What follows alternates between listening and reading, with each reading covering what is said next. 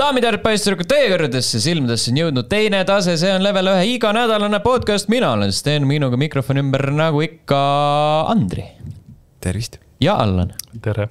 Te kuulate, vaatate saadet numbriga nelisada kakskümmend üks, meil on äh, numbrid lõpuks ometi õiged. ta ei olnud üldse nii kaua. nojah, aga, aga ikkagi, mõne jaoks tundub see terve igavik äh,. ma ütlen selle peale, otsigu elu omale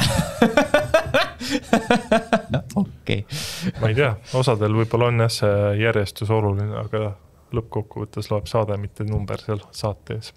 jah mm -hmm., nimi ei riku meest ja podcast'i ja. number ei riku, ei riku podcast'i mm. -hmm ainult meie saame rikkuda seda. ja kuidas veel. hoible, järgmise episoodi number kuussada kuuskümmend kuus.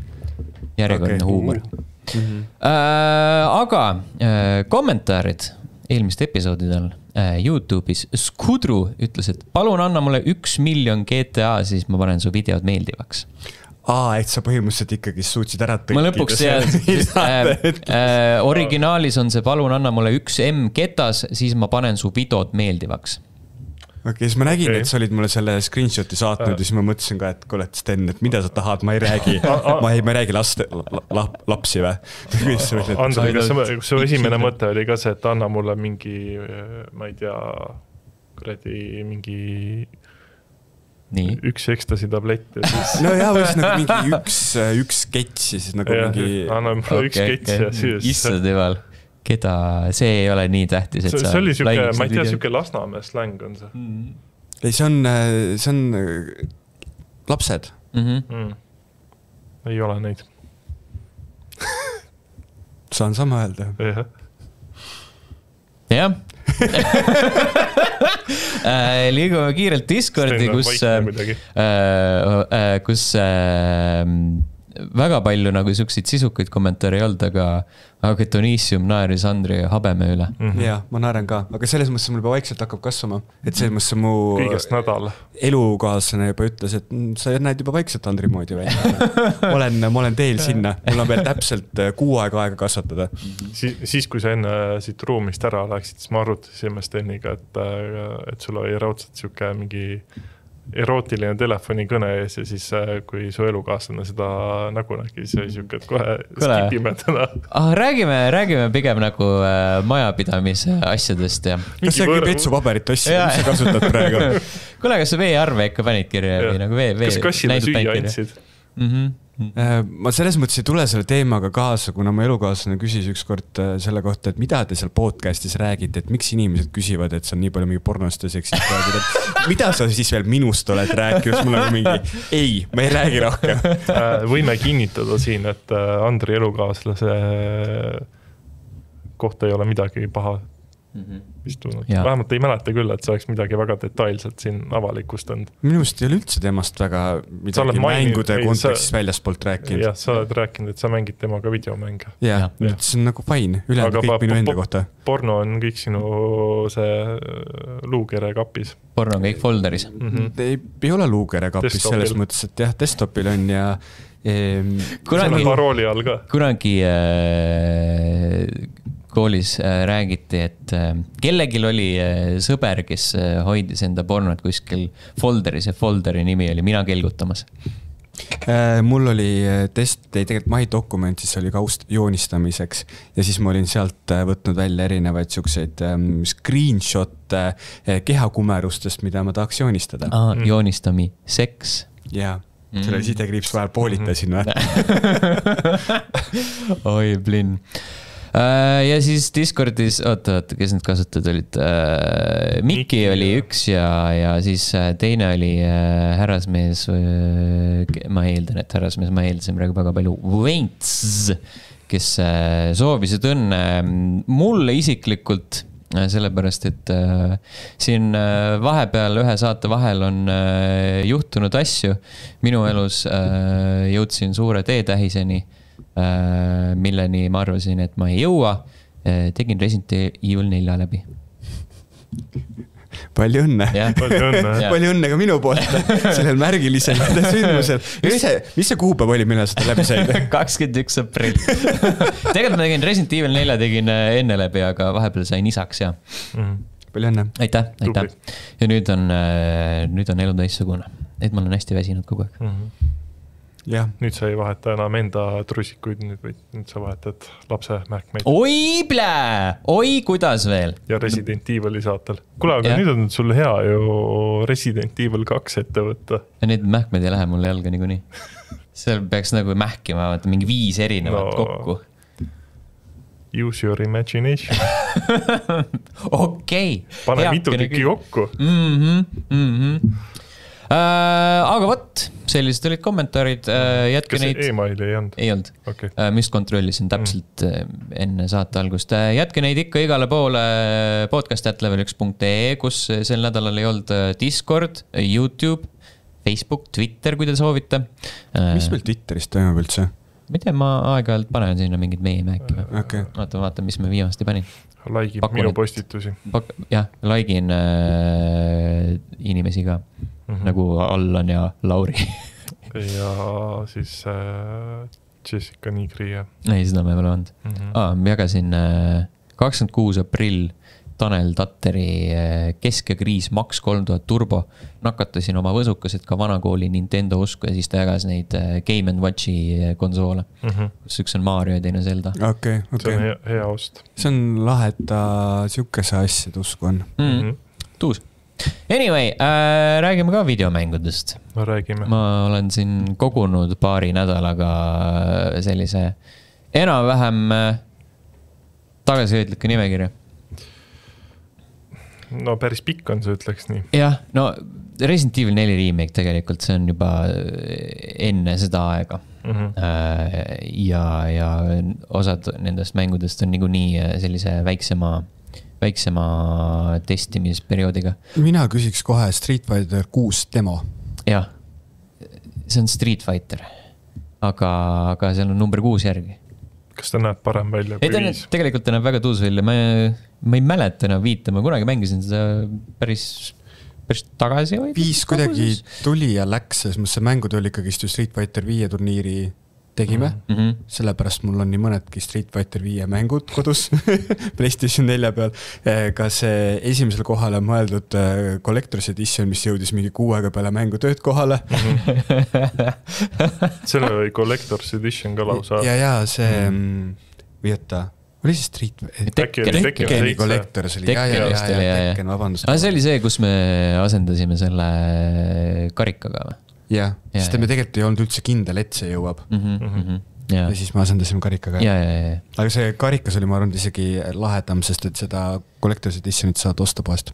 Mhm. tõsi, tõsi ta on. igatahes Street Fighter kuus äh,, kena, tore kaklusmäng äh,. Playstation viie peal proovisin, seal sai äh, teha natuke sellist klassikalist kakelungi äh, CPU vastu, seal on mingi story laadne teema ka, mida ma ei jõudnud katsetada, seal mingi saad tegelast äh, luua ja, ja mingeid lolle kaklusi teha ja midagi siukest. Street Fighterit tegi Capcom, eks.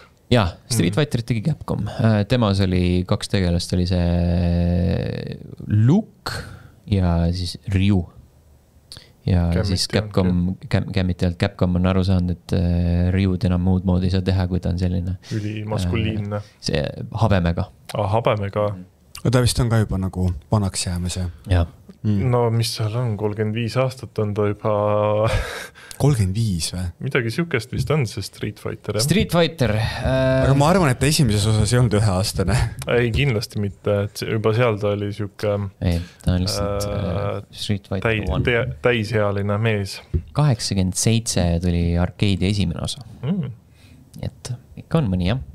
ühesõnaga äh, suur kaklusmängude ekspert ei ole, aga, aga mulle meeldis. üks asi, mis mulle meeldis, seal on hästi palju mingeid erinevaid meetreid ja siis üks, üks nendest meetritest on äh, mingi selline, et sa laed selle täis mingit moodi. ja siis äh, saad teha kas mingi rünnaku või saad teha kaitsemanöövri ja siis, kui mõlemal on, siis on nagu sihuke hästi lahe selline mm, äh, noh äh, sihuke kassihiire mäng, et kes esimesena ja, ja, ja kuidas vastane vastab, et kui sina võtad selle nagu versiooni, et sa ründad, siis äh, teine saab sama meetrit kaitseks kasutada, aga saab ka kasutada vasturünnakuks. ja siis, kes esimesena, ma ei mäleta, kuidas see täpselt oli, aga üks nendest nagu lööb läbi sealt, nii et Mm -hmm.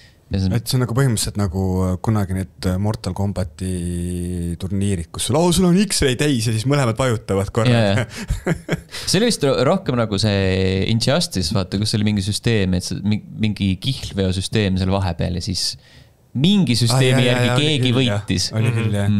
sest need on need ähm, klak-, kaklusmängude mingi kaadrite lugemisoskused ja see on nagu mingisugune Ai, mingi see on totaalne meta, kus nagu mingi, kui sa lähed nii sügavale, mm. -hmm. siis see ei ole enam lõbus.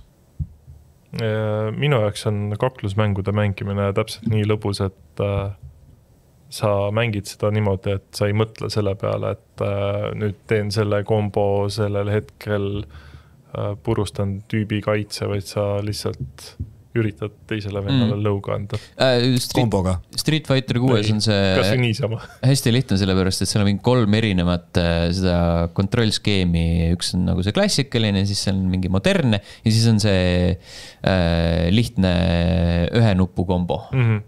et klõpsid seda ja siis on kõik Mm. mm. timmis. no seal äh, Mortal Combatis juba olid ju ka need, vajutada alla kolm korda ruutu ja siis ta juba teeb mingisuguse Mhm. kombo sisse Mm, suht, suht jah. mm.. ütleme niimoodi, et Mortal Combat üksteist on minu viimaseid äh, neid siukseid äh, kaklusmänge, mis mulle räigelt, räigelt meeldis, sest ta oli üsna lihtne. Mm -hmm. Mm. mina mängisin seda seeriat loo pärast. sest see oli juust okei okay., äh,. jah, oota, Street Fighter kuus tuleb millalgi suvel minu meelest välja. suvel oli jah. see oli juunis. Kuskil juunis, vaatame kohe üle ka. see on kakskümmend kuus aprill, teine juuni. kus kohast, miks ta kakskümmend kuus aprill näitab mulle? kus see teisest juunist nüüd, aa, miks ta, nad ei ole seda ära vahetanud, jah, teine juuni. jätkame tulise teemaga, Redfall.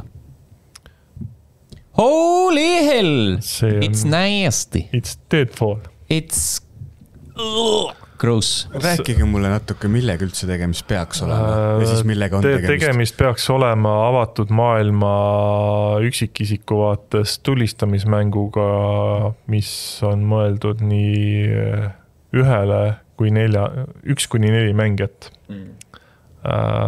tal peaks olema üksikmängu kampaania Looter shooter mehaanikad, ja vampiirid vampiirid äh, ja mingi, mingi lugu, mm. -hmm.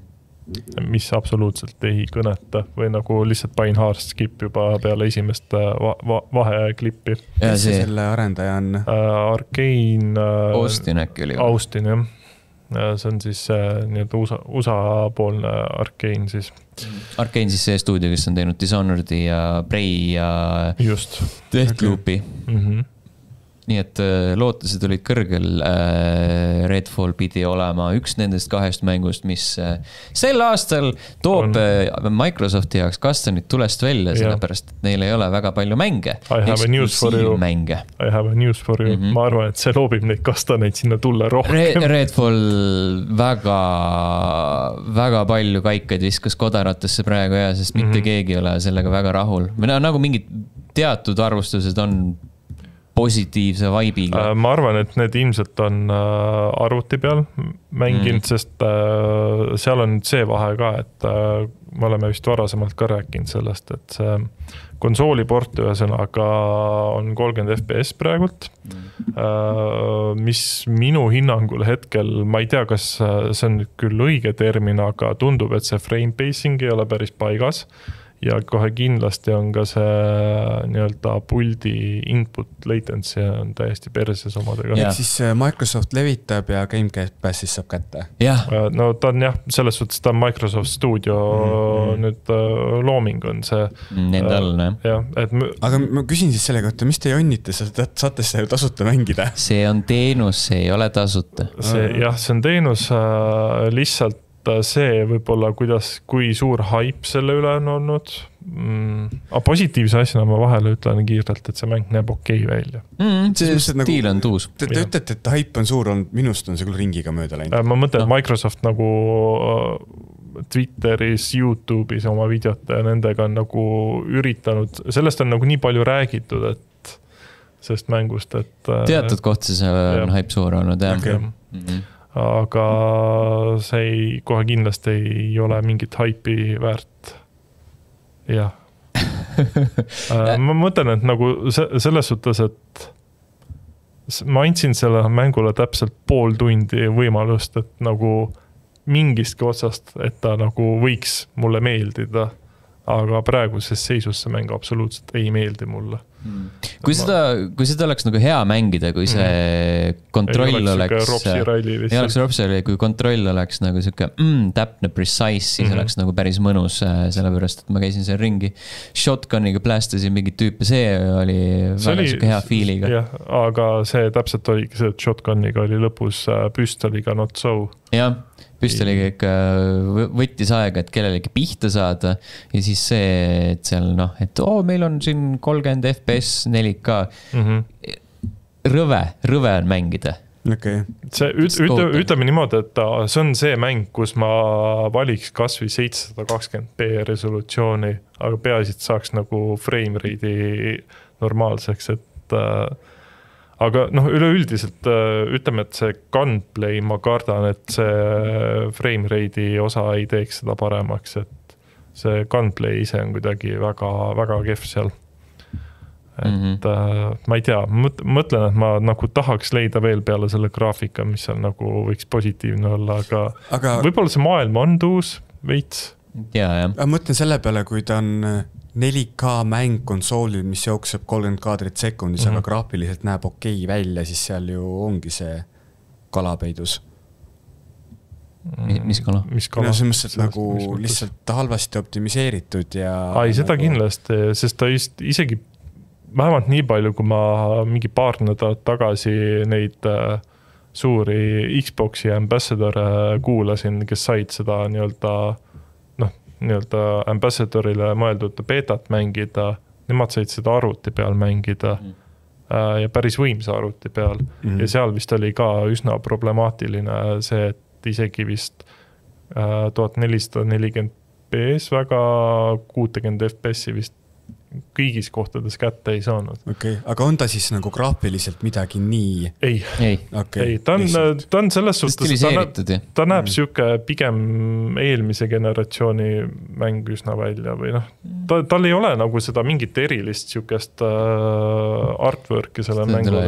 sihuke võib-olla Deathloop'ilik veits või? no see on jah, see on ja, nende stiil lihtsalt, see on kogu arkeeni, selle. arkeeni stiil. kogu arkeeni stiil jah aga jah, ta ei ole nagu mitte midagi sihukest äh, superhüpet ägedat, et. okei okay.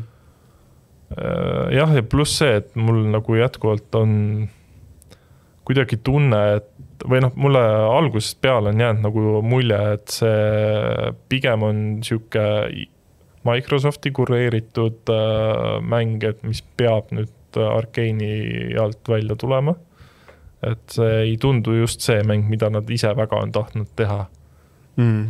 sest. tea, nagu need on, need on alati mingid oletused mm -hmm. siis, kui mhm. mäng tuleb sitt välja ja siis mõtled, et ah, okei okay,, tegelikult nad ei tahtnud. Nemad teha, ju ei tahtnud, nemad sunnivad. ei, lihtsalt selles suhtes, et äh, kui sa mõtled, et kui äh, Xbox ju või Microsoft nad ära ostis, et siis ju üleüldiselt nagu ma ei tea, Rare'ile oli ka mingi väga kummaline see projekt käsil, see, mis oli see Everwild või? Mm,? võib-olla.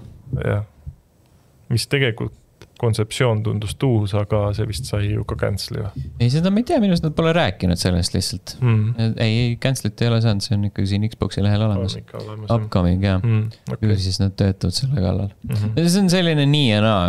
aga ei, ma ütlen, et see jah, või noh, nagu sina ütled, et see on jah, see võib oletus olla, aga lihtsalt sihuke noh, tal ei ole nagu seda sihukest head nagu vibe'i ei ole sellel mängul küljes, et sihuke väga nagu pastakast välja imetud kontseptsioon on sellel minu jaoks yeah.. et kui ta oleks, ma arvan, et kui ta oleks nagu läbi ja lõhki sihuke Far Cry stiilis mäng olnud üksikisiku vaates, üksik kampaania.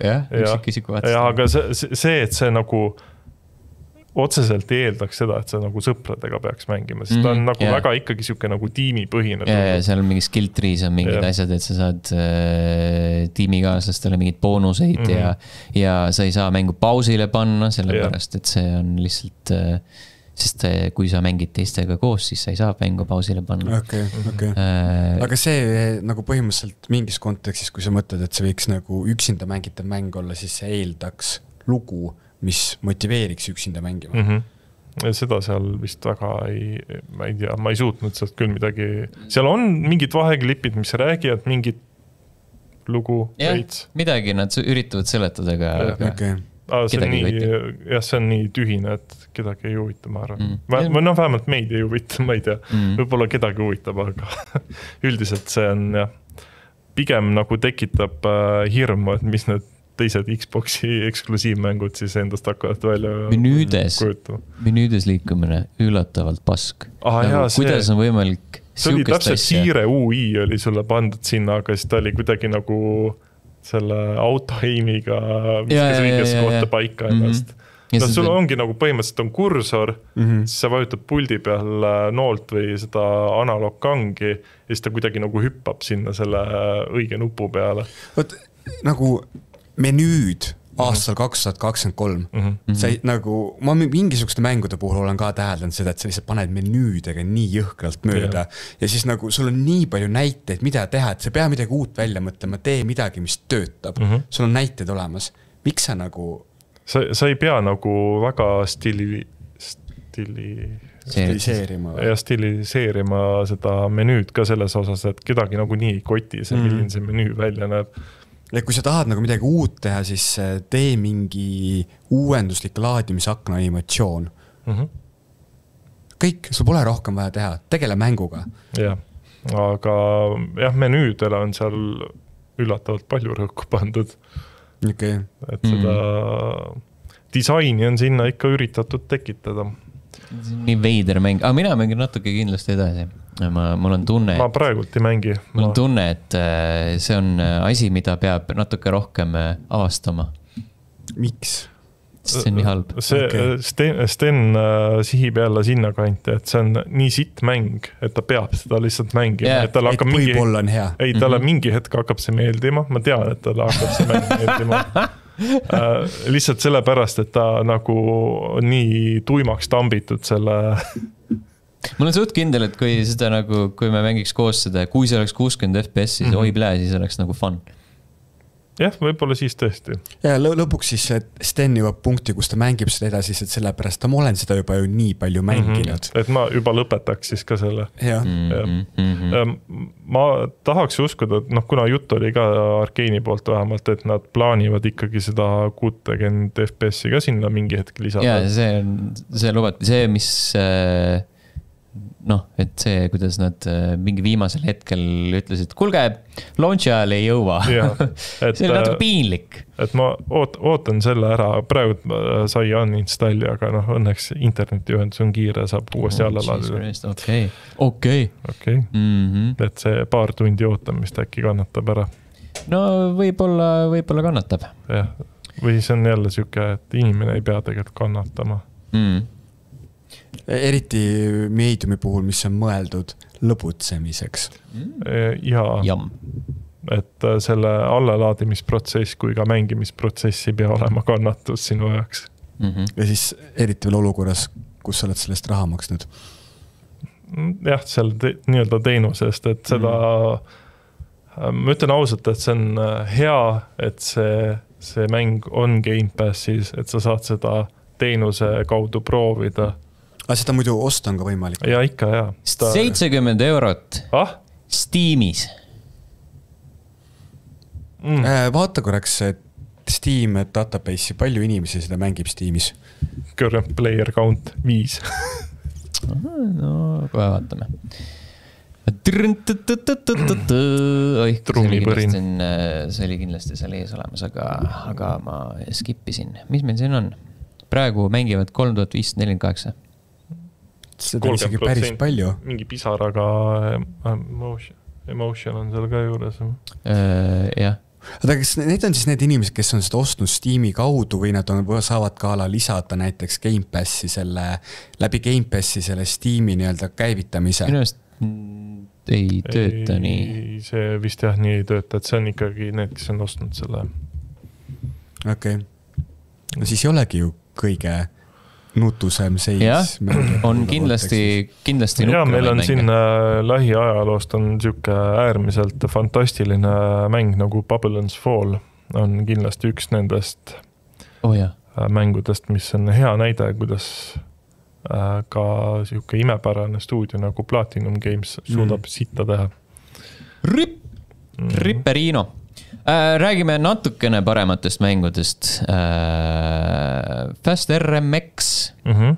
see oli nüüd siis äh,, kuidas ta oli, eelmine nädal või äh,? Nintendo Game Trials siis, jah, vist eelmise nädala lõpust algas, praegu. kuni praeguseni vist käib veel no vähemalt siis, kui saade välja tuleb, siis ta on läbi si, siis ta on läbi, mm. -hmm. Sorry, jah, tegemist on siis äh,, mis ta nüüd on, ta on re, äh, hästi palju on äh, Nintendo fännid küsinud, et kus on uus äh, F-Zero mm. -hmm. Playstationi omanikud teavad seda kui Wipeout. jah, ma just tahtsin, mõtlesin, et ta on see Playstationi peal oli sarnane mäng Jah. olemas. Wipeout siuke jah, jah, et ta on Wipeouti ja F-Zero siis koopia, ütleme niimoodi või ja üks nendest, äh, sellistel tulevikus futuristlikel radadel lendavate asjadega ujobinatega mm. -hmm.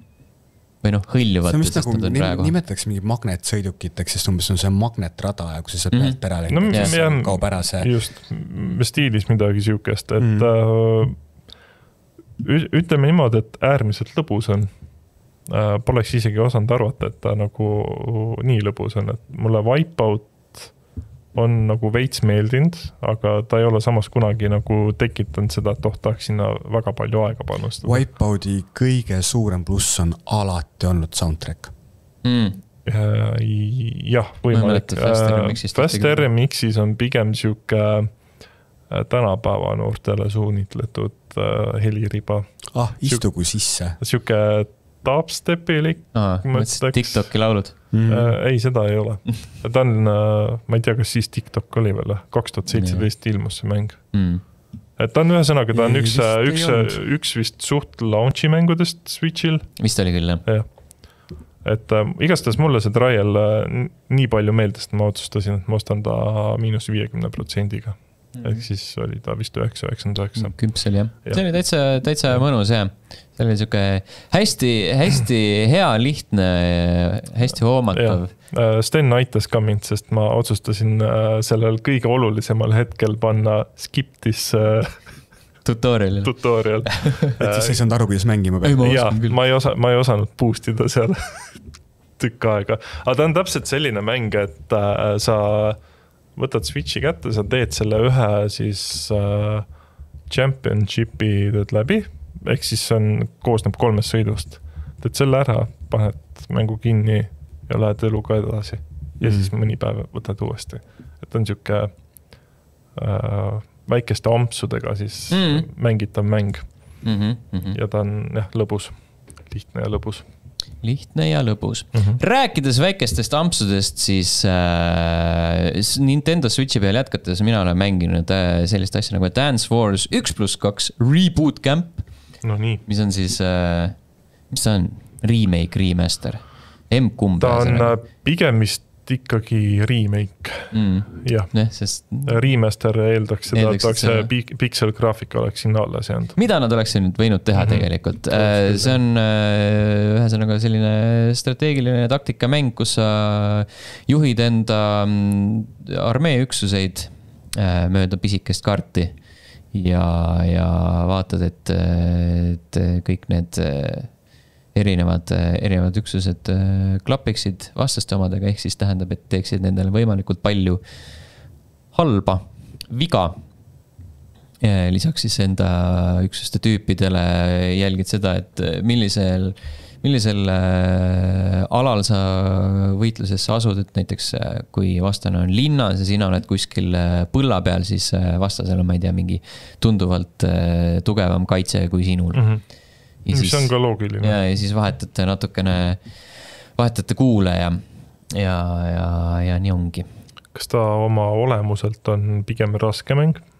ta on pisut keeruline, Mm -hmm. ma ei ütleks, et ta nagu meeletult raske on, aga, aga noh natuke rohkem tekib sellist tunnet, et, et ei õnnestu, et ütleme, võtame võrdluseks siin Fire Emblemid mm, -hmm. siis seal, seal on kuidagi, sa, sa saad aru ja, ja, ja seal on nagu need võitlused üks versus üks, et siin on sul äh, ekraanil kujutatud mingit äh, noh, võitluste ajal on mingi, ma ei tea, viis tanki sul mm -hmm. seal selle väikse kaardi peal juhid ühte, on ju, võitluste ajal on mingi viis tanki, siis kolm lüüakse minema ja siis sa vaatad, et aa, pljääd, et nagu kogu aeg saan, äh, saan peksa mm. -hmm. siis tekib selline kaotuse tunne veits. aa, okei okay aga siis äh, lõpuks saad aru, et, äh, et hästi paljud sellised strateegilised võtted käivadki niimoodi, et sa ohverdad mingeid üksuseid ja, ja, ja lood endale olukorrad, kus on võimalik tagant tulevatel üksustel äh, plats tühjaks teha. kas seal, äh, kuidas ma siis küsin, äh, kas tal on nagu veidi seda Fire Emblemi stiilis seda ka, et vaata Fire Emblemis ju näitas, et mis unit on nagu teise vastu hea, noh, et näiteks vot seal oli, viimases mm -hmm. oli ju see, et mõõk on kirve vastu. ja, ja sul on menüüs nagu need äh, üksused olemas mm -hmm. ja siis saad igal pool hoverida peal ja ütled okay., et jaa, et. ja siis sa saadki sellele vastavalt teha ka selle valiku, kelle sa järgmisele missioonile kaasa võtad, et sul on siis nagu teada juba oh,. ei, äh, senimaani, noh, ma olen esimese osa lugu teinud mm, -hmm. et seal on alati nagu need üksused äh, ette määratud mm. -hmm. või siis sul on kaardi peal tehas, kus sa saad uusi üksuseid luua okay.. et kui sa vallutad mm, -hmm. vallutad mingeid linnasid enda üksuste alla, siis saad mingeid punkte juurde, siis nende punktide eest äh, lood uusi üksuseid juurde okay.. et äh, sealt äh, esimesel korral ka muidugi mu mäng venis, sellepärast et ma ei pööranud ka tähelepanu, täpselt samamoodi jätsin lugemata teatud asjad. Et mis on mille vastu hea ja siis ma tegin endale hästi palju mingeid õhutõrjeüksuseid, aga kõik lennukid olid maha lastud juba. ja siis mul ei olnud mitte midagi teha nendega, lihtsalt sõitsin mööda kaarti ringi ja mm., aga lõppkokkuvõttes ma sain nad ära kasutada niimoodi, et lükkasin nad kuskile ette ära ja siis mm tehti plats tühjaks okay.. et tõmbasid tule enda peale mm. -hmm. Aga pikas perspektiivis mul on selline tunne, et eh, see mäng muutub natuke liiga üheülbaliseks mm. -hmm. Et... kas sul ta oli selle GameBoy Advance'i peale, eks? jah, GBA peale. jah, kas sa selle peal mängisid ka seda omal ajal?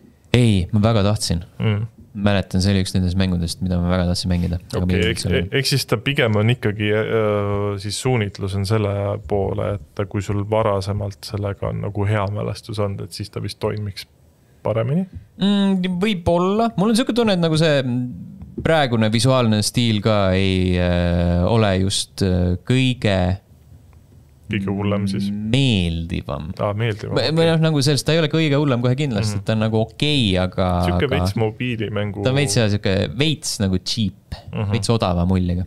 okei okay.. aga noh, ajab asja ära mm. -hmm. ainult nagu, et hea vahel niimoodi jupikaupa teha täpselt samamoodi. Andri räägi ka jupikaupa mängudest nagu Tartu Game Jam'i mängudest. Ähm, ma vaatasin Discordis meil jagati neid ähm, kokkuvõtted sellest ja siis mm -hmm. ma võtsin sealt äh, top kolm äh, mängud lahti on sul see artikkel kuskil silme ees, sest et neil olid ka nimed mm., muidu ma Vaat, hakkan neid kirjeldama ja siis on nagu nõmedas olukorras, igal juhul ma saan see on see strateegiamäng, kus sa jooksed mingi tegelasega ringi. jah, aga selles mõttes, et äh, Game Jam'i võitnud mäng mulle üldse ei meeldinud okay.. see oli minu meelest äh,. kui ma teaks ainult, kus. tegelikult, kui sa äkki võtad äh, Facebookis äkki saksa artikkel või nagu ta vist jagas Facebookis seda või ma võtan ise ta. issand jumal ma.... kõik on kadunud. kõik on, see on see kuradi sotsmeedia, vaata mm. -hmm. midagi ei salvesta tänapäeval pange lihtsalt ühte kohta mm -hmm. Twitteris. just kuigi äh, rääkides Twitteris, siis äh, vahepeal, kui Andrei otsib, siis äh, Twitter on äh, räigelt alla käinud. sest äh, mille jaoks mul on vaja seda for you? ai, sest sealt saab head ei saa, pläusti. ei saa. saab jumala head pläusti. ei. ma millegipärast pean sealt enda jälgitavate inimeste tweet'e lugema nüüd. aga miks sul follow, follower'ite all ei ole? see on hea küsimus seda küsi selle äh, Elam Muski käest okay,. Okay. et äh, millegipärast sinu tweet'id ilmuvad mulle for you alla okei okay., no need. aga need ongi sulle ju mõeldud. ja, ja need on nii head äh, tweet'id, et nad soovitavad neid. okei okay., kui see on mulle suunatud, siis tekib küsimus, mille jaoks on following? jah yeah ekstra suunatud. ekstra suunatud mm, -hmm. okei okay.. ühesõnaga, kõik on katki. aga esimese koha Tartu äh, Game Jamil siis, mis toimus sellel nädalavahetusel, sai Fate of the Delivery Man ähm,. kolme noore poolt tehtud, ma nüüd siin ette ei hakka lugema, aga mäng oli pask mm.. teise koha sai mäng Dead Mail mis nägi visuaalselt räigelt uus välja ja tegelikult mängida oli ka seda päris lahe.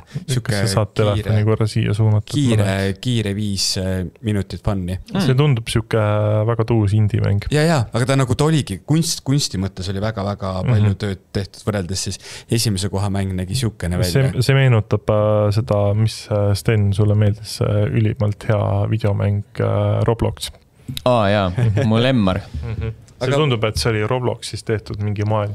aga ma olen aeg-ajalt nagu neid Game Jamide mänge proovinud ja tegelikult see on väga tuus näha, mida inimesed on suutelised neljakümne kaheksa tunniga uh -huh. sihukeses kriitilises olukorras tegema ja eriti arvestades fakti, et äh, tihtilugu need inimesed, kes lähevad sinna mänge tegema, ei ole elukutselised mänguarendajad.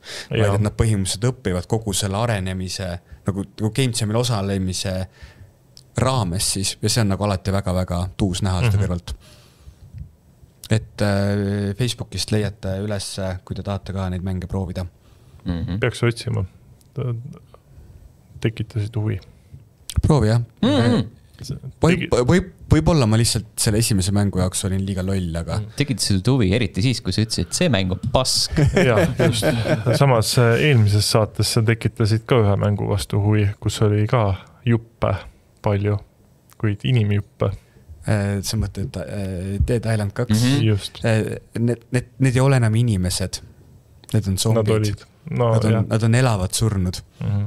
Ja, nad nagu veits on see, ka inimesed. vähemalt nad on inimese kuju. Nad olid inimesed mm. -hmm. Nagu ma jätkuvalt jään selle mängu arvamuse puhul samaks, mis mul oli ka eelmine saade, ehk siis ta on lihtsalt lõbus mm -hmm. ja näeb väga hea välja.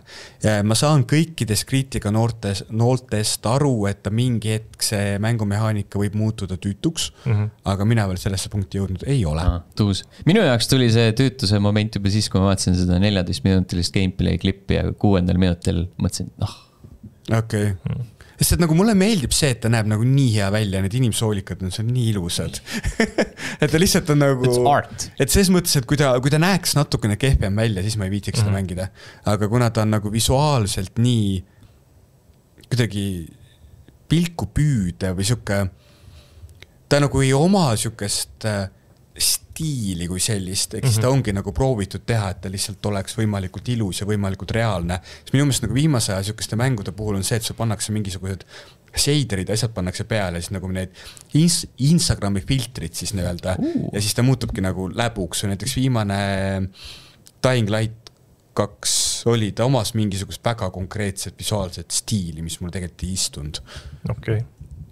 uh,, teed Island kahe puhul, mis mind nagu hakkas huvitama, on see, et esiteks ta on räigelt hästi optimeeritud mäng mm.. sest ta isegi Steam Decki peal väidetavalt äh, peaks äh, sitaks hästi aga kas teda saab üldse Steamist või? Mida, teed ainult kahte või? Äh, kas ta oli vist jooksutati läbi kuidagi selle. aa, selle launcher'i, ja, ja, ja, ja. jah, Epic Games'i.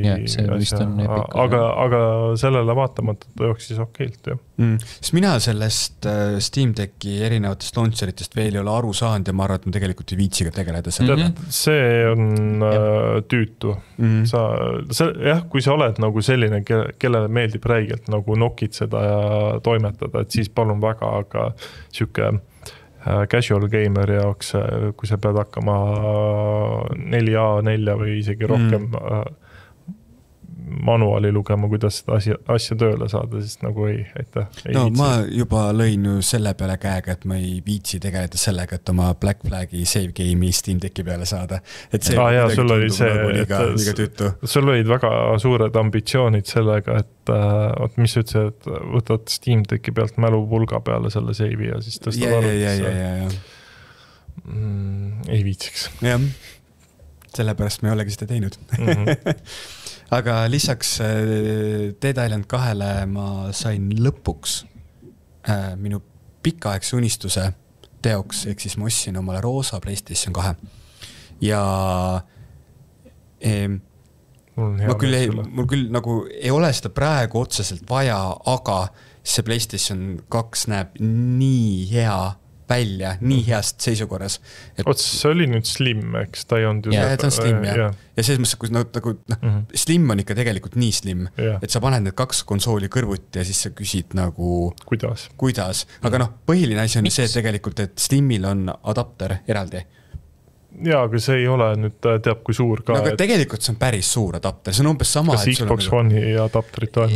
jah, olen, aga ma ei taha, ma ei taha, ma ei taha mäletada. ja sellel versioonil veel, mis ma ostsin, on ka see jalg eraldi aa ah,, okei okay, mm., see on see siis äh, Slimist nii-öelda see, kas esimene või teine variant, sest viimane Slim oli selline, et sul oli juba see voolujuhe otse äh, Slimmi aga tal ei olnud jälle seda kuradi vertikaaljalga mm,. sest see vertikaaljalg on päris, päris lahe, sest see on ka mm. roosa ja need puldid on põhimõtteliselt nagu tuttuued mm. -hmm. ja seda on nagu, paned, paned vastu oma põske ja sa nagu ei muretse selle pärast, et mm. siin on mingi aastate jagu kogunenud seda mängurisitta mm. -hmm. Geimerkanki. teed äh, ise hoopis puldid mustaks? korra, korra, kui sa seda nagu sellest roosast rääkisid, siis mul millegipärast tuli pilt silme ette, et kuidas sul on äh, enda korter on sisustatud mingite Barbi nende plakatitega ja siis sa mängid mingi My, My Fabulous Pony mingit mängu selle peal. kuule, suvel tuleb ju Barbi film. jaa, see on roosa. aga see on heade näitlejatega. aga mu elu, elukaaslane küsis ikkagi, et miks ma, miks ma ostsin selle omale mm, -hmm. et mhm. mis värk mul selle roosaga on ja siis ma hakkasin talle seletama, et mulle meeldib, et noh et ma ise panen ennast suhteliselt nagu mehelikuks meheks mm -hmm. ja siis mulle meeldib see nihestatus, et sa ostad nagu toote, mis on tegelikult nii-öelda meeste mänguasi mm -hmm. ja siis sa võtadki see roosa, sest et noh, mul on nüüd PlayStation viis roosa, PlayStation viie pult on roosa. sa said need külje, küljepaneelid ja, ja, ja väga tuus elukaaslane küsis, et mis värk on ja siis vastas, et kallis, mul ei ole habet, mul on vaja täita tühimikku praegu vaja kompenseerida aga selles mõttes, et PlayStation kahe roosa ei ole see roosa, mis mulle meeldib, ehk siis PlayStation viie roosa näeb tunduvalt lahedam välja. ta on vist tumedam veidi. no nagu trükis nimetatakse seda magentaks mm, -hmm. aga ma võtan seda, mis ma saan mm.. vot. samas see on vist suht sihuke roosa nagu Stenil see pusa on. see on see PlayStation kaks või? ei, ei PlayStation kaks on ikka Barbi roosa. ikka Barbi roosa. ja, ta on ikka täis. Barbi roosa, noh äh.... ma juba, jah, kott, kott on. jah, tahtsin seda ja. näiteks tuua. aga ei, selles suhtes väga tuus. Äh, ma tean vist, et kas Raineril äkki oli ka see. jaa, aga tal on katkine. tal on katkine mm,. It. see, see, kus sa selle äh, said sellel müüjal, ma nägin, et oli see hõbedane Playstation kaks müügis. jaa, ta pakkus seda hõbedas ka mulle, siis ta ütles.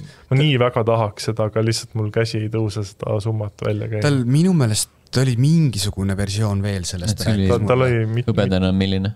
See, see või mitte päris hõbedane, ta oli sihuke sinakas hõbedane või sihuke mm -hmm. aqua vist oligi selle värvi nimi äkki. ja, ja, ja, aga ta ütles, et tal on mingisugune see slimmi värv või mudel veel, mis mm -hmm. ongi, et põhimõtteliselt neid palle, slimme tuligi kolm tükki mm, -hmm. värvilist mm. -hmm. ja siis ta põhimõtteliselt ütles, et noh, et aga sul ju riiuli peal oleksid need nii ilusad kõik kõrvuti mulle nagu mingi.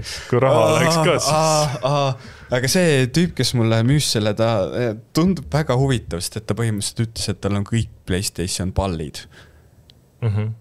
mis on nagu. see on tuus. see on räigelt uus. see on äh, pühendumus mm. -hmm.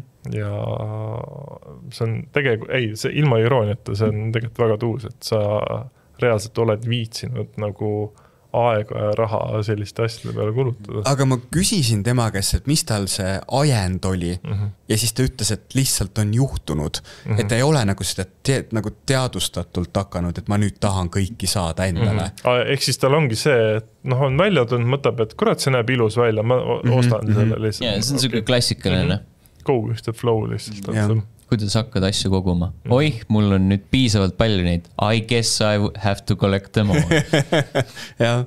see, on see, et no mul on üks puudu, fine, ma mm. ostan selle mm.. aga jah, selles mõttes, et selle roosaga ma olen mm, -hmm. noh, see konsool ise on väga heas seisukorras, karp on põhimõtteliselt läbu mm, -hmm. aga noh, tal vähemalt on karp, ma lootsin, et see karp on paremas seisukorras mm. Mhm. -hmm. aga noh, vähemalt kõik muu on selle võrra parem. loeb sisu. Jah, ma kindlasti proovin korraks selle Playst-, Pleikari järgi ka lükata. samas sul on nüüd äh, võimalus osta sellele Playstationile mõni ilus äh, kaitsekott või asi, mis vanasti oli, vaata nendel Slimidel sai eraldi osta. aga kusjuures see roosa äh, eraldi kott on olemas mm. neil. no just uh et sul on võimalus ka nüüd see osta. ma seda roosat kotti jahtisin ükskord äh, e-base, aga see hind läks natuke liiga kõrgeks. Need vist on mingi paarisaja euro kanti sinna läinud, et see on jah, veits, veits ka karm mm. -hmm. aga nojah, elu on selline. ja elu on, elu on karm jah.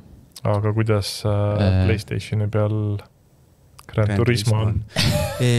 Nice kuidas VR-is? VR-is jah mm. -hmm. sest mida, mida seal Playstationi peal enam uurida, seda niisama. ma kusjuures ei väsi kordamast seda, mida me oleme ka siin mitu mit,, mitmel erineval podcast'il rääkinud, on see, et tegelikult kui hea asi Playstation VR kaks on. ta on, on. nagu sest need väiksed lisad, mis nad on siia toonud sisse, need teevad selle nagu kasutuskogemuse teevad nii heaks ja läbi mhm. selle põhimõtteliselt ma terve nädalavahetus mõtlesin, et kui, aa ei, tegelikult ma tulingi isegi laupäeva õhtul pohmas peaga kontorisse, sellepärast et Grand Turismot mängida et nagu see, see te tegelikult näitab, näitab niivõrd palju Äh, ma arvan, et äh, see Grand Turismo VR-is ilmselt äh, toimibki nagu siin on kontoris Place'i mhm, telekas mm -hmm. ja et sa istud seal niimoodi sellega rooliga mängida, et kui sa puldiga kuskil diivani peal siis tegelikult sa unustad ära selle veits. arvad? Aga ma ei tea, nagu see element, et sa nagu päriselt sa... keerad rooli ja käik, sul on ju see käiguga ka seal. ja, aga tegelikult sportautodel see vaheta sealt käiku, siis see mm. ei tööta. ehk okay. siis ikkagist nagu rooli pealt tapad. okei okay., nojah aga ikkagi ma nagu Saad... kujutan ette, et see nagu no, ikkagi annab seda. no ma panin veel kogu selle force feedback'i asja panin mm ka nagu suhteliselt heaks ja tegelikult see roolikomplekt ja need pedaalid on päris nagu noh, nad ei ole kõrgtasem, nad on sihuke keskmise hinnaklassi toode, on ju, aga mhm. noh, ikkagist mõned tuhanded, on ju. Mhm. ja siis tegelikult see on nagu räigelt fun ja lihtsalt äh, andsin ka oma kol-, kolleegile mängida, kes ütles, et ta äh, on kasutanud erinevaid VR-seadmeid, aga mm -hmm. alati töö jaoks mm. -hmm. ehk siis ta ei ole kunagi VR-seadmega mänginud ja see esimene kord, kui ta and-, kui sai proovida rooliga Grand Turismo seitset, siis ta nagu ütles, et ta põhimõtteliselt unustas ära, et ta mängib. et ta okay. nagu, tal päriselt tekkiski tunne, et äh, sa oledki ringrajal ja ta mm -hmm. hakkas ise nagu noh, su aju on nii loll et sa hakkad ise nagu tundma, et tegelikult kõik asjad liiguvad kaasa. aju on nii loll ja see, see jobi juhib kõike su kehas. jah täitsa pekkis aga, aga, aga te saate aru selles mõttes, mis ma mõtlen, et ei, nagu väga no,, väga vähe on vaja selle jaoks, et ta arvaks, et see on päris no,. nii palju, kui ma Steni juures VR-i nägin, et äh, see graafika pool, et sul võrreldes selle esimesega on kadunud see sihuke kuidagi sihuke täpiline pilt või selle esimesel oli nagu see, et ta ei olnud sihuke puhas ja ilus, ilus mm. pilt. suht säbruline ja. pikseid oligi nii palju vähem ju et äh, selle BSVR kahega see pildi kvaliteet on lihtsalt rets. kusjuures, mis ma ise vaatasin või nagu kasutuskogemusel süvenesin, on see, et tegelikult ekraan kui sa vaatad ainult ekraani mm, -hmm. siis sa mhm. tegelikult ikkagist näed seda pildi natuke kehvemat kvaliteeti, et a la näiteks Valve'i indeksi mm -hmm. ekraan on parem aga see silmade jälgimine ja see fookusepunkti muutmine, see põhimõtteliselt petab nii räigelt ära, et sa mm. enam ei, noh, sa ei pane tähele, sest sul no, pilt muutub ta, nii palju. tal ongi see, et ta nagu ei näita sulle kogu pilti ilusalt, vaid ta näitabki seda, kuhu sul silm mm -hmm. on parasjagu mm -hmm. fokusseeritud ja siis ta te tekitab sulle sinna selle ilusa pildi, et see, mis sul seal tagataustal on, see on jumal suva mm. -hmm et äh, jaa, ei see on tuus, tuus asi. panin nüüd selle Horizon Zero Dawni äh, VR-mängu panin ka konsooli peale, aga mm -hmm. ma pole veel jõudnud seda proovida. Call of the Mountain. Call of the Mountain, jah mm. -hmm. aga rääkides Horizonist, siis uh, Horizon Forbidden West Burning Shores DLC tuli vahepeal uh, välja, tegin selle läbi. väga ilus on. üks kõige kaunemaid mänge vist tõenäoliselt, mis konsoolidel näha saab okay.. ei ole, kindlasti ei ole, Redfall on palju parem sellepärast ma ütlesingi, et üks kaunemaid mänge mm. -hmm. Mm -hmm. Jaa. see kibestumus, see Microsofti konsooli omaniku kibestumus, on, nüüd hakkab see tekkima, see on see klassikaline konsooli sõjad tekivad siin, et Sten saab play- on aeg, kuradi Xbox rõve, ju, Playstation on parim. põhimõtteliselt hetkel küll, jah. sest seal on vähemalt, otsustatud, Xbox kaotas konsoolisõja. seal on vähemalt äh, tänase päevani, mis, mis meil on, peaaegu kolm aastat on need konsoolid väljas olnud. jah, et 2020 äh. Playstationil küll ei ole väga palju neid mänge, aga see kvaliteet, mis on, on kümnetes kordades parem kui see, mis on Microsoft sulle pakkunud sama ajaga ikka päris palju jah mm. -hmm. aga aga Gamepass on odavam. Tõsi? jah, aga vaata, Gamepass on kvantiteet. selge, igatahes Burning Shores äh, leiab siis aset peale Forbidden Westi põhilugu. üllatus, üllatus mm. -hmm. üks nendest äh, osanud arvata. üks nendest, mis nad olid, ancients või mis iganes äh, kunagistest äh, maaasukatest, kes tagasi tulid siis Forbidden Westi spoiler Mhm. äh,, eelmise aasta mäng suva äh,. On nüüd üks, üks jäi neis veel alles sinna mm, Mhm. -hmm. see on nüüd seal põhikurjam äh,. ja siis Aloy läheb äh, teda jahtima kuskile Hollywoodi äh, kanti, kus äh, on ilusad nagu läheb sinna klubisse või? ei, ei nagu, nagu äh, LA-s Aa, vaata. Hollywoodi mägi ja Aa, tähed ja blablabla bla,, eks ole. kas need tähed on siis seal alles? ja on küll jah, Mhm. sest muidu sa ei saaks teha ikoonilisi stseene. kas seal romantikat ka on? on küll, aga me jõuame sinna mm.. õigemini sa saad teha romantikat, kui sa tahad Uhu. äh, kas. see on see eelmise nädala podcast'i uudis, mille ma nahaalselt vahele jätsin või? tõenäoliselt, minu arust ütlesid kõik uudised vahele. oli vist jah. Ma Ma ei vähemalt diagonaalis käisin silmadega podcast'is üle ma, ma tean seda, et äh, kohe kindlasti mängudest ei räägitud, sa ütlesid, et vaadake ise, mis te mängida see, tahate. ja, ja see on suva, aga, aga ma ei mäleta küll, et keegi oleks rääkinud äh, Redfalli kolmkümmend FPS-ist ei, või sest et ma ei saanud aru, ma ütlesin, Suicide et, ma Suicide Squad'i edasilükkamisest ma ütlesin, et nagu ma isegi nagu ma olen kuulnud, et Redfall on nagu olemas mänguna, aga nagu mis ta on midagi Absoluutselt ei, huvita. ei huvita, päriselt ei huvita. ühesõnaga, üks nendest uudistest, mis oli, oli see, et äh, Burning Shores'i Metacriticu lehte pommiti jälle sellepärast, et äh, sul on võimalus äh,. mis ta on siis, optional, optional thing. Optional thing või? Optional thing, ei, ei, see on, issand jumal. valikuline, valikuline äh,, valikuline teema on see, et Aloy võib, aga ei pea musitama teist tüdrukut mitte minu videomängus ju, rõve poliitika, hoidke eemale. oma homo, istuge sisse oma homopropaganda. jah, jah. mis Äh. järgmiseks? vikerkaare värvis lipud või? sellised, sellised äh, kõlvatud asjad minu laste videomängudes. Mart Helme kohe kindlasti seda heaks ei kiida. ma arvan, et Mart Helme lapsed ei mängi PlayStation viiega. Martin või? jah. ma arvan, et Martin ei mängi PlayStation ma viiega. arvan, jah, et Martini lapsed ka ei mängi. ma arvan, et või Martin tähendab, kui mängi, kui kui mängivad, siis nad kohe kindlasti ei mängi seda mängu. Mm. mis, mis võiks kõige ekrem videomäng olla, mida saad PlayStation viie peal mängida? Hatred, aa ei, vabandust, sa oled PlayStation viie peal. see oli esimene asi, mis pähe tuli. Äh, ma arvan, et Far Cry viis. ei, ei, ei, ei, sa oled, sa Mis mõttes? võitled konservatiividega seal. ei, nad ei, sa võitled seemne, sa võitled seemne perekonnaga. jaa, aga seemne perekond on suht konservatiivne pigem. ei, nad on äh,, liberaalid nad kindlasti ei ole. nad on kas, kas see on räpased kas, kas nagu mingisugust sihukest eriti igavat nagu mingi teise maailmasõja aegset käigupõhist strateegiamängu pole PlayStation viie peal või? sest et nagu, mis nagu hästi sihuke tehniline mm, kus tegelikult nagu lõbu ei olegi siis mm. -hmm. iga kord, kui ma näen jälle mingeid siukseid mänge, siis ma mõtlen, et nagu oi ei, see on küll mingi keskealistele meestele. ma arvan, et Redfall on üsna EKRE-le su suunitletud mäng. Godfall, jaa, sest see oli kõige igavam esi. See tundub olevat selline safe Mm. mm. bet, väga konservatiivne. Godfall, see oli see ähm, mis see äh, oli? see oli Focus Interactive'i ei. Gearbox, aa, Gearbox. mingi täiesti suvaline. aa, see oli see mäng jaa, see oli launch'i mäng, see kuradi mingite metallturvistega. That's the one, that's the one. jah, see on, jaa, see on kindlasti sihuke iseloomustab äh, konservatiive. Mhm. Äh, ühesõnaga, mis mulle Burning Shores'i juures meeldis, oli see, et äh, Aloy on jätkuvalt lahe tegelane mm. -hmm. sul on sihuke, kas ta on kogu aeg lahe olnud või? on küll. on küll, okei okay., Jah. sest mingi vahe mul jäi mulje, et ta on hästi etteaimatav. kogu see mäng. No jah, et- Kogu see mäng, et see- kogu selle mängu puhul mul on ka see aga tunne. Alloy ise tegelasena on väga Jah. äge.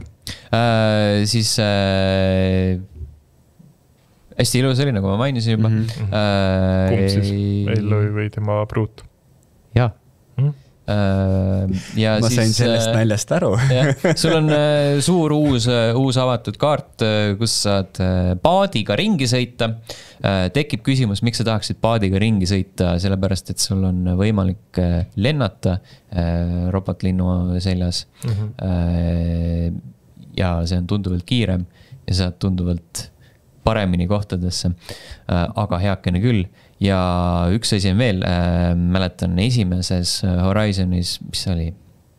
Zero Dawn mm, -hmm. Zero Dawnis oli ka DLC oli Frozen Wilds ja siis seal äh, keskenduti nii-öelda sellele lumisele kaardi osale mm. -hmm. see oli ka ainult uus, oli sihuke hea vaheldus. Burning Shores äh,, siin on see mm, see kõlab see nagu. gimmick on seal, et, et teatud kohtades on laavat mm. -hmm. aga nad ei tee selle laavaga mitte midagi. okei, ma Ja- tahtsin tegelikult öelda, et see nagu kõlab siukse ähm, nagu romantikasarja nimena. aa, ma mõtlesin, et see on nagu mingi sihuke sexually transmitted disease. ei, Jersey Shores. jaa.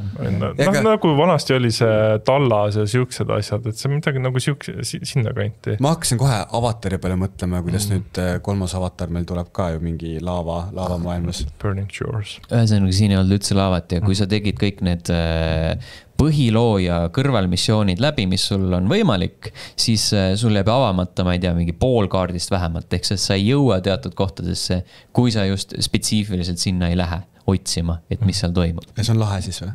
ei ole, see on nagu kõige selline wasted opportunity. ehk siis äh, sa tahad, et ta mäng suunaks sind. ma tahaks, et nagu seal oleks põhjust avastada, et see on nagu selline raisatud potentsiaal. aga kas mis põhimõtteliselt, kui mina praegu tahan seda mängu hakata mängima, tahan näha Alloyd tatti panemas, siis ma pean olema põhimängu läbi mänginud. sa pead olema põhimängu läbi mänginud Playstation viie peal, sest see DLC on Playstation viie eksklusiiv. väga hea võtab, mõtlema, väga hea mm, äriline otsus, mõtlema panev. No aga samas neil on ju praegu see teema, et PlayStation viied on nüüd poes Mhm. saadavad Jaa. ja, Äh, tegid mingit rekordi, proovime. müügirekordit ka just. põhjust. isegi kohalik äh, see, mis ta on, see Sony, Sony poolt, see äh, saatis isegi kirja, et nüüd saadaval Mhm. poes. aga ma Rohkem ta, kui ta, kaks. ta, tahtsin seda öelda, et äh, sa mainisid paati seal, et äh, minu meelest oleks äärmiselt tore olnud, kui see, sul on nagu need äh, romantikavalikud ka seal, et sa ei pea nagu seal tähtede all äh, seda nagu suudlust tekitama, et see võiks olla kuskil vaikselt niimoodi paadiga jõe peal välistaevas. nagu selle tüdrukuga või? aa, ma mõtlesin, et paadiga on nagu. ei, ei, no paadi. pa- paadiga võib ka olla, selles suhtes igalühel oma, aga aasta kaks tuhat kakskümmend kolm ikkagi., aga nagu selles suhtes jah, Need et see. DLC doku dokumentaalid, kus äh, inimesed äh, karussellide ja autodega musitavad, need on ja juba ammused. abielluvad ja, Ja, ja. -hmm. et äh, see oleks võinud, noh, kuna see nagu, see Burning Shores on nagu sihuke ikkagi nagu veits siukse romantilise alatooniga. mina ei tea, mina, mina ikka võtan siit STD vibe'i välja. nagu ütles Burning Shores. aa, sa mõtled nagu kubemetäid või? nagu kõrvetab noh. aa, kõrvetab mm. aa, kiheleb äkki või? ja, ja, ja, ja. Äh, no ikkagi selles suhtes ta liigub pigem sinna romantika poole, et ma arvan, et nad peaks selle sinna sisse patch ima Mm. mm.. Andri hakkas juba telefoni, Tinderit vaatama ma seal. peaks vaatama, kas mul ei, ole Tinderit telefonis, kas saab ka tüdrukuga musi teha kunagi. võib-olla. saatis Kalli, Kalli mulle sõnu, millal sa tagasi tuled mm.? ärge ärge vajutage sinna, mis valus on. heakene küll. see ei ole valus. Äh, mina, minu Aloy teise tüdrukuga musi ei teinud, aga mitte Mm. selleks, et ma olen homofoob, homofoob, vaid lihtsalt selleks, et ma ei tundnud, et narratiiv õigustas seda. Nende okay. See suhe ei arenenud äh, vajalikus tempos. ehk siis äh, põhimõtteliselt äh, ta ei olnud sihuke nagu CyberPunkis see Panamiga või see, kes see teine oli, vaata, seal oli ka see mingi, see mingi naisterahvas, kellega sa said, kui sa naisena mängisid yeah., siis sa said teha, et see, see ei olnud nagu nii sihuke tunglev romantika seal. ei, ei olnud sihukest särtsu. okei, ja see oli lihtsalt musi, Cyberpunkis ju oli ikka sihuke hardcore andmine. ma arvan, et seal No oli seal jaa, oli raudselt. Burning Shore'is järgmisel hommikul. kindlasti. mingi ebahügieenilises tankis lihtsalt nühite. suht higine oli ka kõik. siis on kindlasti ja ma arvan, et siis on seal kõik, kõik mängus pärast. aga kui sa, Judy oli vist või? vist oli jah, Jude Äh, kui sa temaga ühte heidad, siis on neil selline romantiline äh, õhtu kuskil järve ääres majakeses. no vot, näed. näed, vot nii peab tegema, nii, nii peab tegema, mitte lihtsalt äh, narratiivi väliselt lihtsalt keel kurku. kes nii teeb, mm. -hmm. õpetage lastele romantikat. jah. mm,? ei ole ainult see, et sa lihtsalt näed, kes sulle meeldib, sa ei lähe talle keelt kurku lükkama lihtsalt. See nii Lõpetage. ei käi see asi. õpetage lastele romantikat, siis lased, näitad talle CyberPunki ette, kus mingid eriti hardcore tseenid, kus Keanu äh, äh, raudtab mingit tšikki bändi tagaruumis. aa jaa, see, ei no vaata, vaata, aga pärast jõuame õppetunnini mm. -hmm. see on niisama, see on toores materjal. toores materjal jah. see, sinna jõuad hiljem. me natuke ruttame õppe, õppetunnist ette äh,. vot, sellised olid mängud sel nädalal vaid küll jah, ja mängige Redfalli kõik. ei, Äh, enne veel, kui me uudiste juurde liigume, siis äh, Youtube'is on äh, selline kena tore nupuke nagu join. Youtube.com kaldkriips level üks ee on see aadress. sellele vajutades saate toetada meid, meie tegemisi, ligipääsu mustale saatele, striimide ajal meie lõustagi emojisid kasutada, kui need toimuvad. ning seda võimalust on kasutanud, nupule vajutanud Karuonu, Heiki, Snapster, Jumal kuuskümmend üheksa Lamao, Medved nelikümmend kaks, Reio, Liina, Rallih null null seitse, Donissium, Hanna, Örü, Kadri, Mihkel, Rein, Andres, Rasmus ja jutlustaja X, aitäh teile. aitäh. ja Aitäh teile. aitäh, Henri, kes meile sisukordi loob. aga kus Heiki jäi? Heikil toetaja. Damn! Äh, Youtube'is vaadake, vaadake häid asju nagu Resident Evil nelja video ja Mikael Meemaa podcast mm -hmm. ja, ja miks mitte ka Agoga podcast ah,. korrektuur, Ago ütles, et teda ei ole kutsutud peale seda, kui ta esimesed kaks episoodi oli täielik vale. ma võtsin chatlog'ist pärast välja, ma olen sada prossa kutsunud teda, saada talle aga ta ei, ta. ei, see, see on. videotunnistus praegu siin. Mm -hmm. Sten peaks siia kuhugi nurka monteerima selle, et Ago, Ago selle chati mingi iganädalaselt. Sten enam ei pane neid ja, saateid ja kokku. need on nii fancy'd, et äh, Andri ei luba kellelgi teisel puutuda. okei, ei, ma lihtsalt ei viitsi seda nagu, mõtlen, et me teeme nii kvaliteetselt seda, et ma lükkaks ta pigem täies mahus Youtube'i, kui hakkan seda Stenile saatma ja kuulma, kuidas ta arvuti ägab. Oh, ma, ma arvan, et see arvuti jälle. mitte ei häga, vaid see läheb vaikselt, hakkab seal juba põlema minema. igatahes äh, level1.ee on veebiaadress, kus te leiate Lauri Resident Evil nelja arvustuse ning mängud, mis kahe podcast'i vahel ilmuvad. viies mai, Hogwarts Legacy väidetavalt eelmise põlvkonna konsoolidel mm, -hmm. PS4 ja Xbox One. ja siis Äh, suvel vist tuleb Switch'ile ka. vist jah, kaheksas mai Cook Serve Forever Steam Early Access PC peal ning üheksas mai Peridoo äh, iOS Android. mm.. tuus, ma võin doki kinni panna, sellepärast et mul ei ole uudiseid äh,. ainuke asi, mis seal oli, et mingi Mortal Combat kaheteistkümne esimene diiser oli äh,. see on lihtsalt mingi speck of sand. kas see läheb selle saate alla, see, et UK-s äh, visati Microsoftile jälle kaikaid aa oh, kodaratesse, aga meid ei huvita vist see teema kunagi. see vist kuidagi nagu, kas nad nüüd, mis mõttes sind ei huvita, Microsoft tahab osta Blizzardit ja Activisionit ära. ja sind Jah. ei huvita see. Ei nagu- sa, kas sa ei taha siis järgmist Redfalli saada? me oleme, me oleme nii kaua rääkinud sellest, et nagu minu meelest see uudis oli siis, kui nad nagu, et jah, hind on selline, nüüd nad lähevad selle te Jah. teemaga nagu edasi ja. siis nad nämmutavad lihtsalt. M- minu jaoks vist kõige äh, võib-olla uuem osa oli see, et nad peavad päris jõhkrat äh, trahvi maksma, kui nad ei osta Activisionit ära, aga kellele nad maksavad siis selle trahvi? Activisionile. Fuck, ma panin arvuti kinni, ma ei saa kontrollida nüüd su okei väiteid. ehk siis põhimõtteliselt nad loobivad dollareid ikka, aga nad ei saa sealt midagi ei no selles mõttes, et sul on ju tegelikult juristid, kes nende asjadega kogu aeg niikuinii tööd teevad ja ma arvan, et nende see tunnipalk on ka mitte, mitte just kõige lõpu nagu väiksem mm. -hmm. ehk siis, et nagu noh, mis mulle on meeldinud kogu selle asja puhul on see, kui palju mingisuguseid erinevaid fakte on ilmunud. noh, et noh, ala, igasugused mängude müüginumbrid ja mingid siuksed asjad, mis Ja siis nagu ja- jah, jah, et see on nagu tuus, et lihtsalt, et kui eh, ma ei saa öelda sõna korrupeerunud, aga kui tegelikult hardcore see suurkorporatsioonide maailm ikkagist on. jaa, kindlasti ja. siis nagu see, kui sa jõuad siis sinna CyberPunki teemasse, kus sul ongi siis need suurkorporatsioonid, kes kont- kontrollivad maailma, on ju, et nagu me näiliselt ei ole neile võimu andnud, aga tegelikult niikuinii kõik kuulub neile. Mhm. Ja siis me teeme näiliselt näo nagu nad ei saa seda nagu ära osta, aga tegelikult niikuinii mingid ah, Rockefellerid omavad kõike, noh. Phil Spencer läheb lihtsalt sinna, mis see oli, see UK CMA ehk siis see konkurentsiamet. Läheb sinna suure musta kohvriga, kus on sees palju raha mm. -hmm. ja kindlasti mõni Ei, ma- ma arvan, kõrgema otsa oma, see tüüp võtab selle raha vastu. kuna see on UK, siis sa ei lähe rahaga, vaid lähed teepakkidega. ja veits veits spotted tick'i ka kaasa. ah, Spotted tick, mis see on, rahvustoit. kõlab kahtlaselt. ma ei, isegi ei tea, mida sa praegu silmas pead. ei, legit spotted tick on selle toidu nimi, see on mingi magustoit minu meelest või? nagu nähtud nähtud riist või? Ei nagu. märgatud. märgatud nagu riist äh,, Mhm. nagu äh,, nagu noh, täppidega. aa, täppidega või? mm. -hmm. oota, ma pean kurat, see on mingi leeprehaige siis.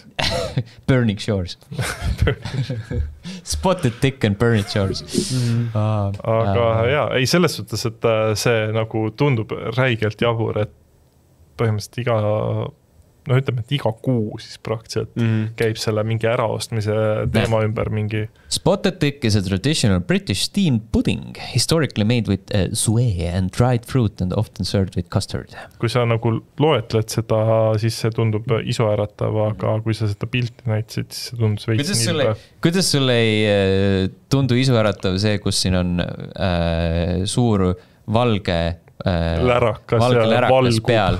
kuidas sa seda nagu otsast välja. restoranis saad tõsise näoga küsida? Oh, excuse me, one spotted dick, please. kas nagu siin või kaasa? kui kaasa, siis ma lõpetan kell kuus. mis te Grand Turismo filmi treilerist ei arvasite? vaadanud, ma ei jõudnud vaadata. Äh, ütlen ausalt, see on minust täiesti mööda läinud. Ma kusjuures Jah. sain isegi eile emaili selle kohta, et sellel nädalal tuleb. jaa, ma nägin, ma vaatasin seda diisrit treilerile jah, ja siis vaatasin, homme tuleb diiser, tuus. seal on natuke kuidagi, me teame, et filmi nimi on Grand Turismo Mm -hmm. ja seal kuidagi see on autofilm. selles treileris on seda Grand Turismot natuke liiga palju. Ehk siis noh, sa mõtled see nagu logosid ja asju nagu no jah, jah, rõhutatakse jah, et mm. nagu kas see on nagu äh, mängutöö Sprite'i reklaam või? või noh, nagu äh, Ah. ko seal komme kommentaaride ajal mainimine. jah, mm.. või no lihtsalt kuidagi nagu kas see oli kõva nahv? jaa, miks te nagu hõrtite noh? see pläd. käisid sõbrad hiljuti külas siis nad mõnitasid mind, et Andri, kaua sul see korter olnud on ja sul pole ikka veel lampe laes. no see on suva, ma olen äh, oma korteris viis aastat elanud ja mul jätkuvalt köögis äh, ripub lihtsalt juhe. minul, mida te teete nagu, mina, mul on kõik lambid laes no tubli, ja ma olen, ma Kas- ei ole kas on- aastatki elanud seal, kas on asi sinus või sinu naises? Tõenäoliselt temas. ma arvan ka. ma olen sinu korterites käinud, ma tean, et asi ei ole sinus. Ander on näinud mu standardeid, mu tegelikke standardeid.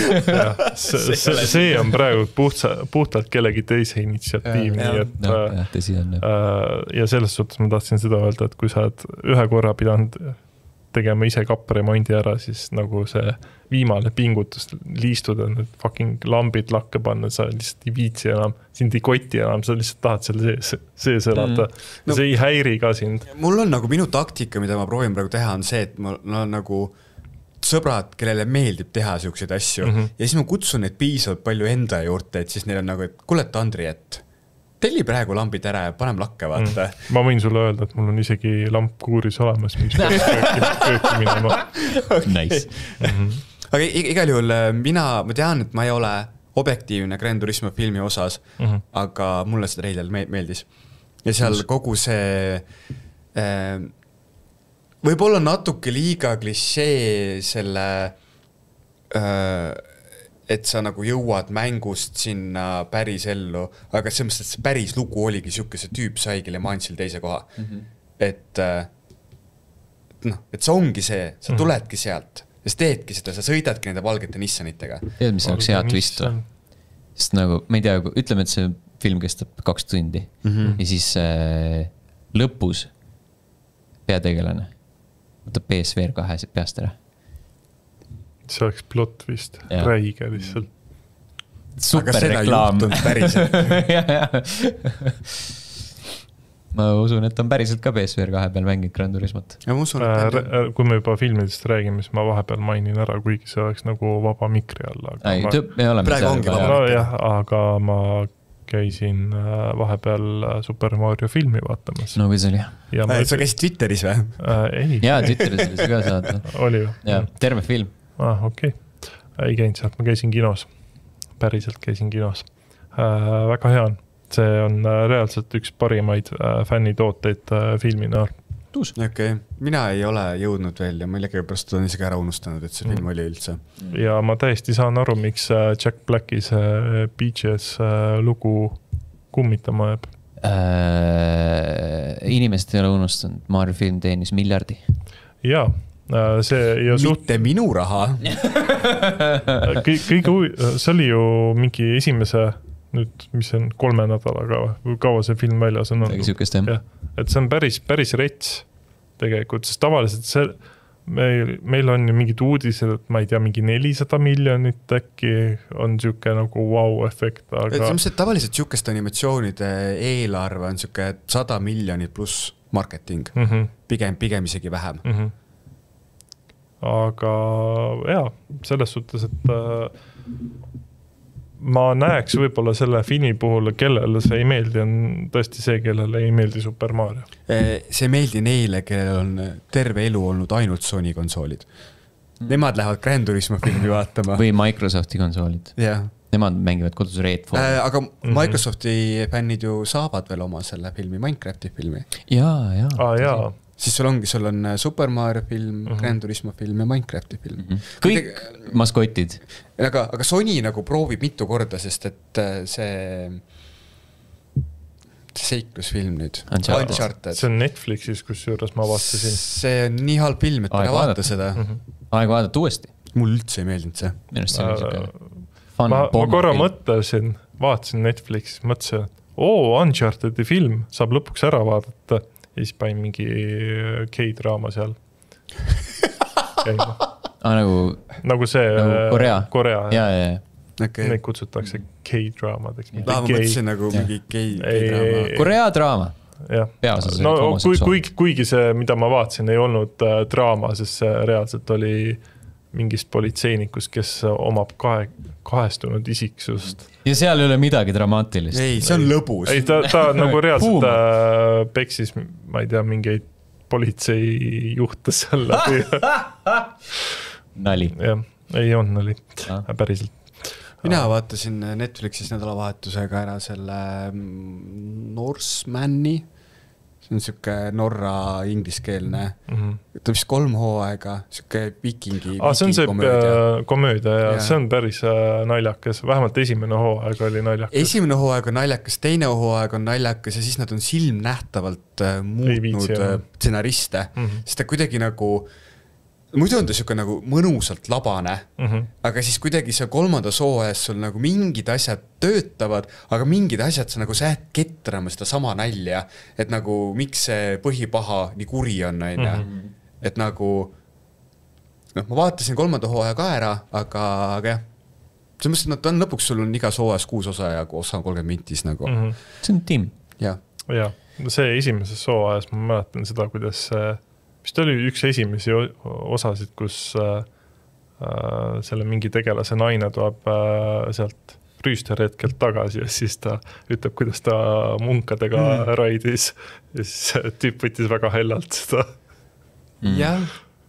Alright, alright, alright äh,. siia lõppu äh, ütleme, et see on diiser järgmiseks korraks, sellepärast ma tahan järgmine kord rääkida rohkem äh,. vaatasin The Boys'i esimese hooaja lõpuks ära äh,. üllatusin, kuivõrd palju erinetakse koomiksist, nad lähevad ikka, ikka väga, väga teist teed pidi mm. -hmm. Hästi palju asju ähm, olid äh, muudetud juba eos ja, ja, ja nüüd need äh,, ma ei tea, kuidas nad jõuavad sinna lõpp-punkti, kuhu nad peaksid jõudma, aga It's fun. The Boys'i kohta ongi see, et kui sa muidu vaatad, et nagu kümme asja, mis erinevad, siis seal sa vaatad põhimõtteliselt kuus asja, mis on samad, sest lihtsalt sul ei ole rohkem neid. põhimõtteliselt. tegelaste disainid The Boys'idel on noh, nagu need enne Hewitt mm, -hmm. Butcher ja Mother's Milk ja French'i, need on nagu suhteliselt spot on koomiksiga võrreldes okay.. filmil ka.